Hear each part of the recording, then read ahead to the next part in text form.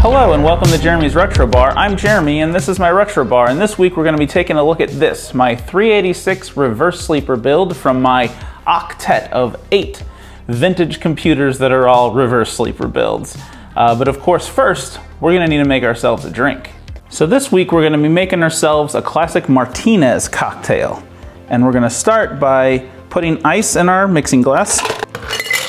We're going to use two ounces of gin three quarters of an ounce of sweet vermouth, one quarter ounce maraschino liqueur, and one dash of aromatic bitters. Then we're gonna stir that. We're gonna strain that into a cocktail glass, or in this case, a martini glass. And then we're gonna garnish with a lemon twist. And there we have a Martinez.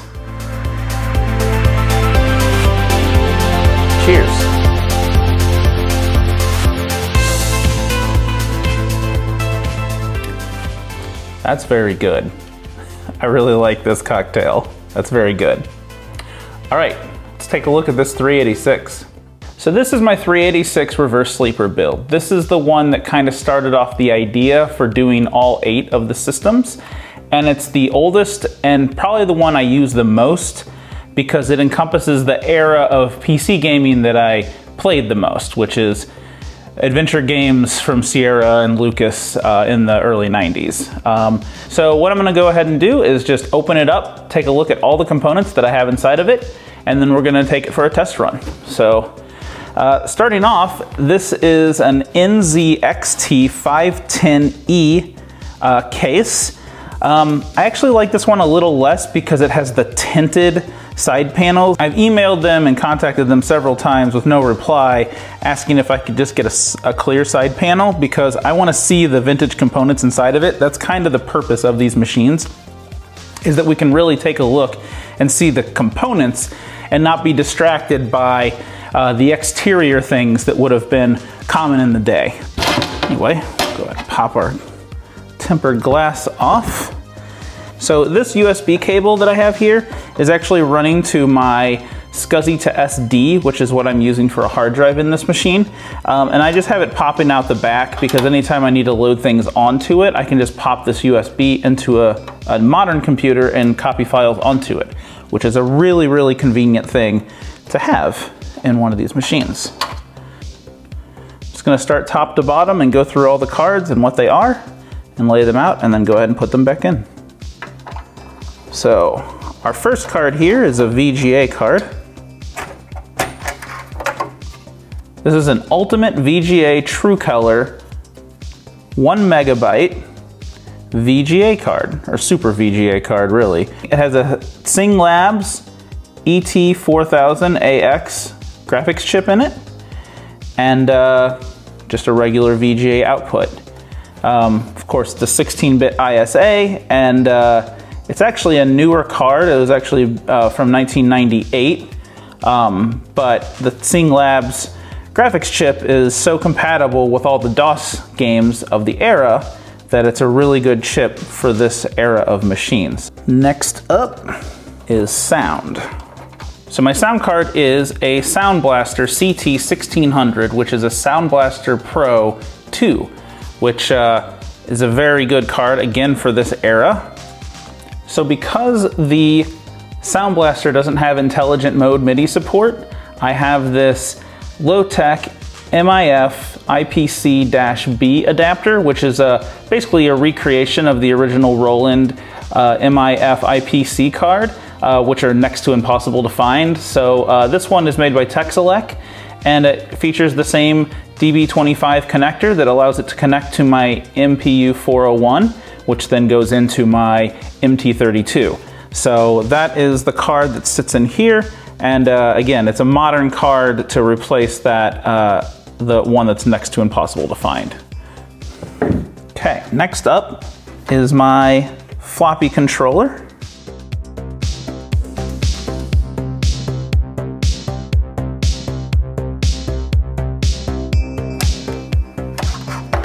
So So this is just a Monotech Deluxe floppy, bootable ISA HD floppy, and serial controller card. So again, this is another modern card. This one's made by Monotech, and it has a high density floppy connector. So uh, that goes into a Gotek drive that I have in here. And it also features a serial port. So it's a nice kind of two in one for the 386 era where um, I didn't need as many cards. I didn't need uh, like a AST six pack pro or anything. It just gives me kind of a two in one, saves a slot, gives me a floppy controller and a serial port, which is really nice. So the last one is an Adaptec AVA 1505 slash 1515 SCSI controller card. And uh, I use that because I use a SCSI to SD in this uh, computer. Um, I've noticed with earlier BIOS um, systems, sometimes it's a little bit easier to do a SCSI controller uh, to get it to boot off of, uh, off of some of these uh, uh, compact flash cards. it just made it a lot easier and I got less errors when writing to it and things like that. So I just really like it. I think it's really great. It gives me a lot of stability uh, in this machine for its age. This is an FIC 4386VC-HD ISA motherboard with a AMD AM386DX running at 40 megahertz. It has one Mathco DX advanced math coprocessor from ULSI Systems. It has 32 megabytes of RAM. Uh, it supports up to 128, um, but I feel it's overkill for the machine. So one of the unique things about this motherboard is the motherboard is kind of from that early 90s era where you may have a 386 or a 486. So it has this 386 processor built into it. Um, but where the math processor goes, math coprocessor goes, you could put a 486 processor in that slot and when you do that, it actually supports this, which is an Opti local bus, which is a, which is a pretty proprietary uh, card slot of the era. Um, but that's the extra speed for that is only available if I have it as a 486 and because I'm using this as a 386 that's just going to act as a regular ISA slot but uh, still a pretty cool feature that it has that gives me a little bit higher bandwidth if I wanted to for my graphics card, uh, if I had a compatible graphics card, which are the Opti local bus cards are kind of hard to find. Um, but yeah, so anyway, uh, that is what I have in this machine. So I'm gonna go ahead and put everything back together.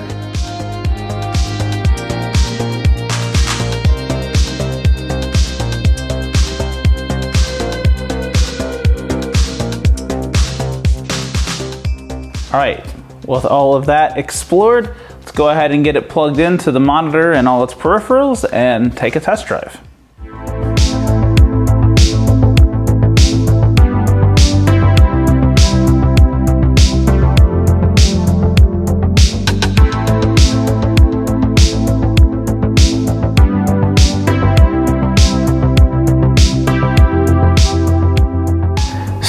This is running DOS version 5, MS-DOS version 5, um, because uh, I actually probably would have had DOS 4 during this time, but we all know how buggy and bad that was, so I went ahead and put DOS 5 onto this machine. Uh, of course, this is running um, one of, whoops, one of my favorite uh, little interfaces of the time before I had Windows. This was my main file manager, was just using MS-DOS shell, uh, and I still like it. Um, I have it configured for two hard drives uh, on the SCSI to SD. So um, the C drive is, I believe it's 500 megabytes because that's the max that um, it can see as a boot drive. But uh, the D drive is actually set up to be one gigabyte, which uh, is an insane amount uh, of space for uh, a computer of this era. Uh, and so, yeah, and it's literally just my Sierra games that are in, uh, in the uh, D drive, um, which, you know, got a decent amount here. Um, so yeah. Um, and I also have on here, oops, um,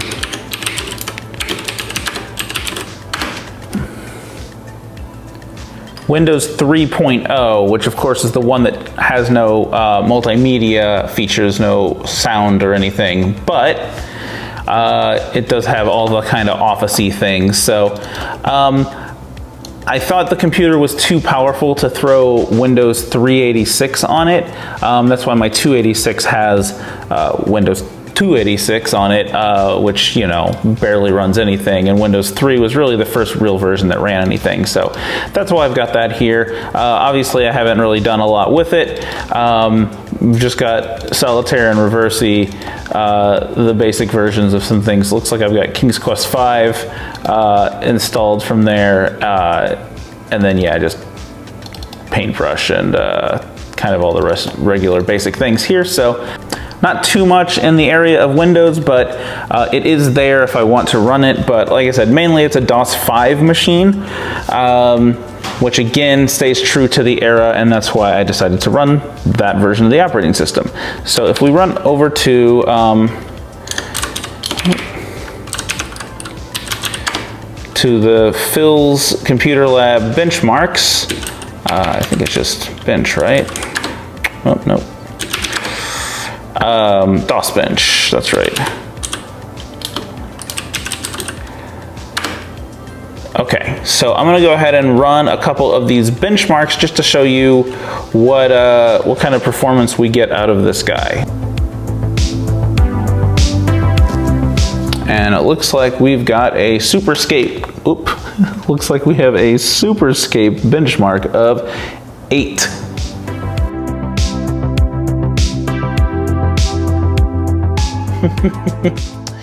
Chris's bench score, of 6.7. That is four frames per second.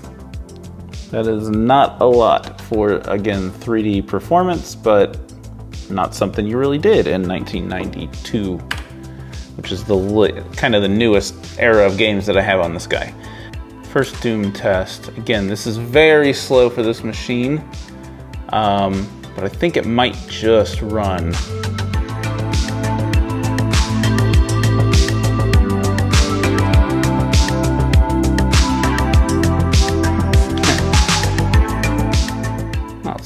Running fine in the small window.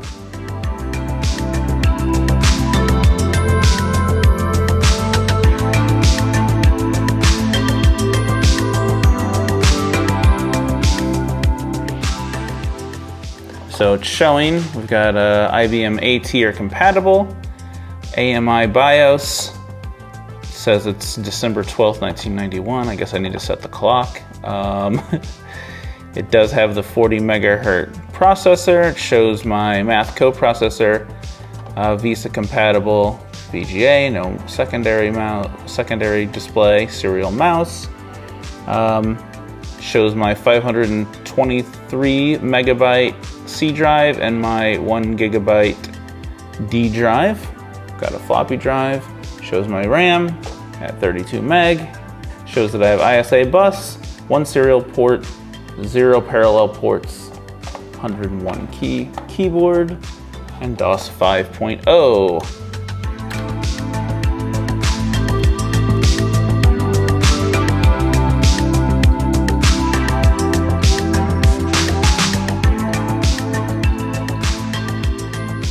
This computer performs like a 37 megahertz AT with a 95 megahertz 286 math coprocessor. This is a 1993 benchmark. You think it would uh, know a little bit better what we're doing here. Okay, uh, now let's do TopBench. So it looks like my TopBench score is 53, whatever that means. We'll do SpeedSys and then we'll get out of here.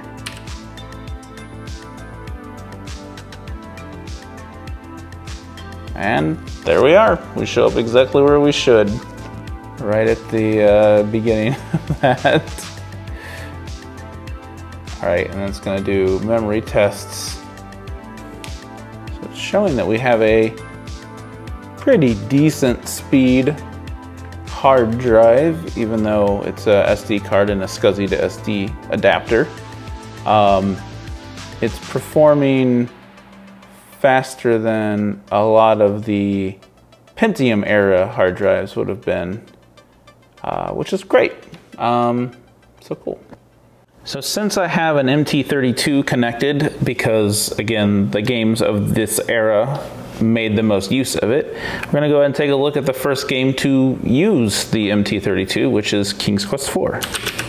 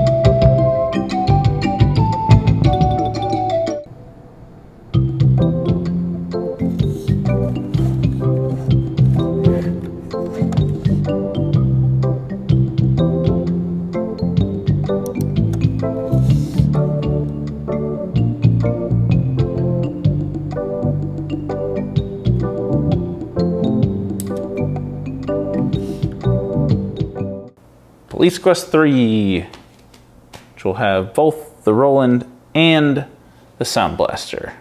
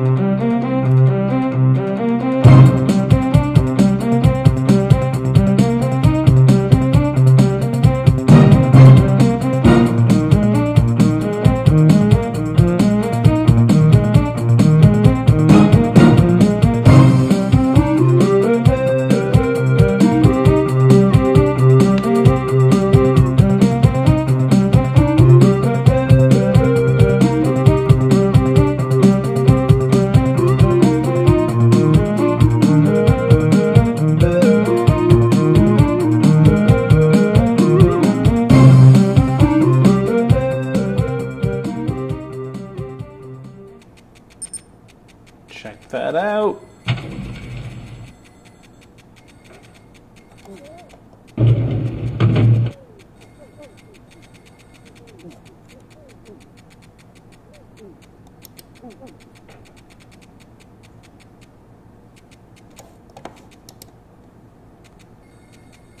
A nice mix of recorded sound and Roland sound here. Maybe not the most effective, but that is what's happening. So anyway, that's really it for a look at my Octet Reverse Sleeper 386. Uh, it is really one of my favorite machines. Uh, I never owned a 386 of my own. I had a 286 and then a 486, um, but this uh, represents kind of the era of gaming in which uh, I was on a 286 uh, and all my friends had 386s. And so uh, it's just all those games run better, faster, smoother on the 386. So it's just nice uh, to have it. I know it's not gonna blow anybody away as far as 3D performance, uh, and that's why, you know, Doom is gonna run pretty not great on a 386, but all the adventure games, all of the other, uh, all the 80s DOS games are gonna run great on it, uh, and of course the early 90s stuff, which is the stuff that I really enjoy, so. Um, yeah, they don't get enough credit, 386s, I feel, and, uh, and I think they're really excellent machines. And uh, yeah, I just really like this guy. I really like um, the setup. I like that it has the Sound Blaster and the Roland in it. Uh, I love the speakers. Uh, everything about it. I think it's a great machine. Uh, and of course, eventually I'm gonna probably do uh, a restoration on one of the Compaq 386s that I have, and that will have a CRT um, and that'll, you know, kind of all be era accurate. Whereas this has as many new parts as I can to reduce maintenance because it is out here on the floor that I expect people to be using and uh, the less uh, that I have to replace, the better. So anyway, thank you very much for watching this video. I hope you enjoyed it and uh, I'll see you next time.